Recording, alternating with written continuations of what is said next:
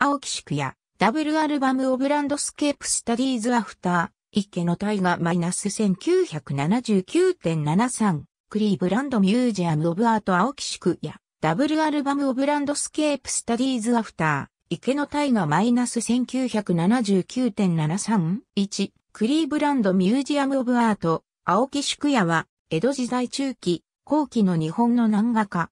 名は松明。字は、大発。号は、春東、八竹。通称は小右衛門。京都出身。池大河に指示。反天寿のいとこ。与明王の光栄を自称した。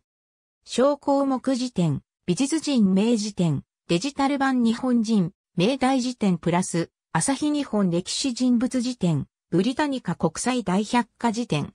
青木宿屋とは、ことバンク。2021年1月25日閲覧。三重県立美術館、所蔵品検索、青木宿屋。www. 文化 .pref.me.lg.jp。2021年1月25日閲覧。青木宿屋、近畿書画図1795年開設。www. 文化 .pref.me.lg.jp 2021年1月25日閲覧。ありがとうございます。